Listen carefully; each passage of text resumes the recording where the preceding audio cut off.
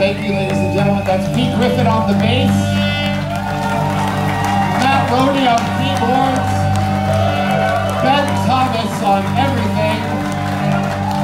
Scheila Gonzales on the rest of everything.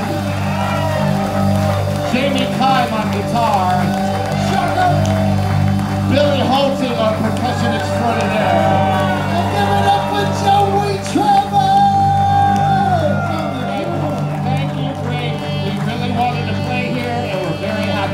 Let's do